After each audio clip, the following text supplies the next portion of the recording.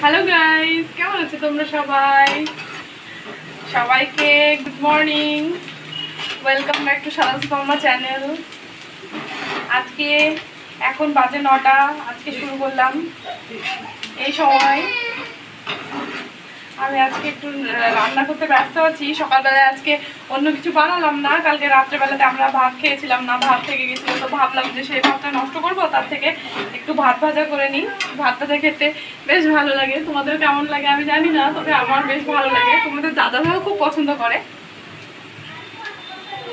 এক হাত দিয়ে ধরে আছে, এক হাত দিয়ে রান্না করছি। বুঝতেই পারছ, অসুবিধা হচ্ছে।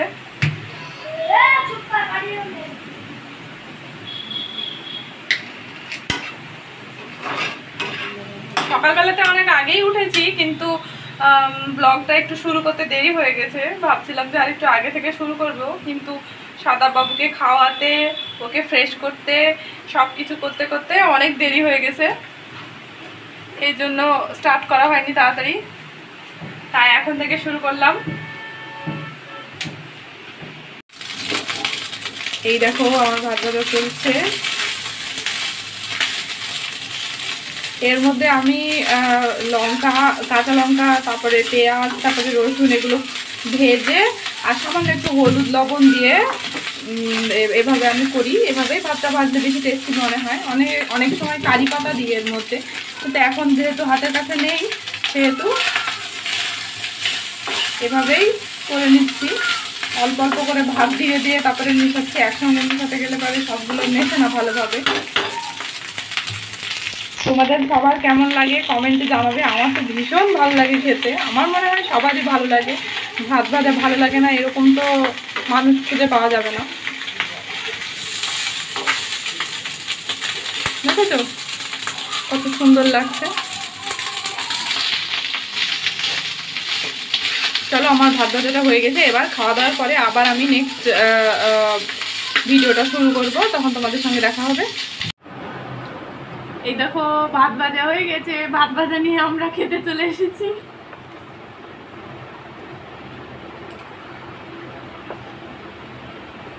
বাবু আসো বাবু আসো।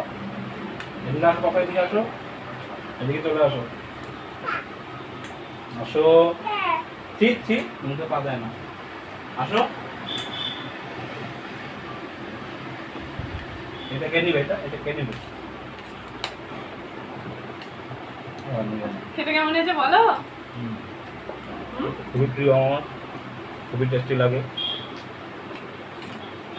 বাবু এদিকে আসো। আসো। না ধরে নিয়েছি। আসতে হবে আসতে হবে চলে আসো। হবে একটু? দাও না। না। করে না। খাবে? হয় নাও থাক এখন থাক এটা খাব না।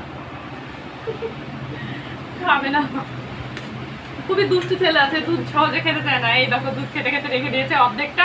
আবার অর্ধেকটা কখন খাবে তা ঠিক নেই। কোনো খাবার দিলে খেতে চায় না। দুষ্টু ছেলে পচা ছেলে। হাই বলে দাও ওখানে। বলো। হাই বলে দাও। বলো তো হাই বলে দাও হাই। বলো বলে। দাও। ওখানে বলে দাও। এটা থাক এটা পরে নি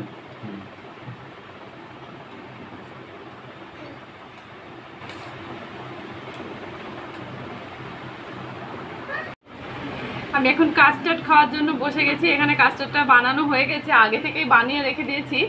এই কাস্টার্ডটা আমি এখন বাটিতে সার্ভ করব।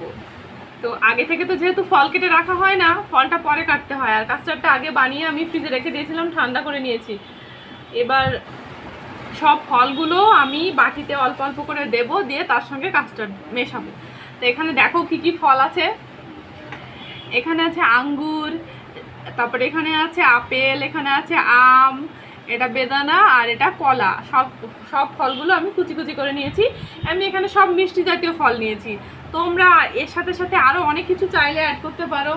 যেরকম চেরি, তারপরে খেজুর, এরকম যে কোনো মিষ্টি ফল তোমরা অ্যাড করতে পারো। তা আমি আমার হাতের কাছে এগুলো ছিল, এগুলোই অ্যাড করেছি। এখন এগুলো দিয়েই আমরা কাস্টার্ড খাব। তো চলো, একটা বাটি আমি রেডি করে দেখাই তোমাদেরকে। এখানে আমি একটা ছোট বাটি নিয়ে নিয়েছি। সবার প্রথমে আমি এর মধ্যে একটু কাস্টার্ড নিয়ে নিব।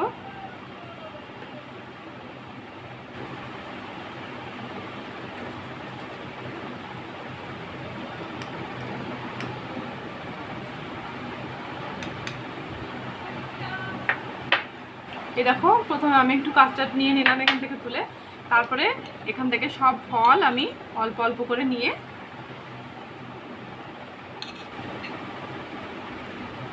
এর মধ্যে দেব।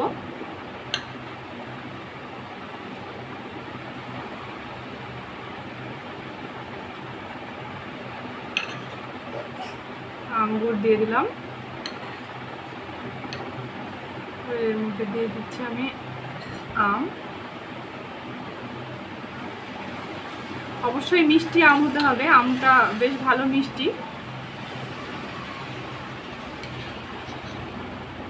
এর মধ্যে আপেল দিয়ে দিলাম।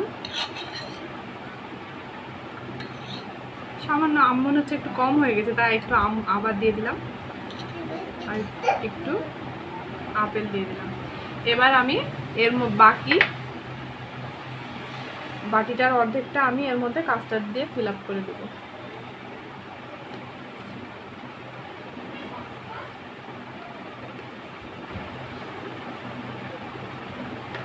কত সুন্দর হয়েছে। দেখেছ? একদম পারফেক্ট কনসিস্টেন্সি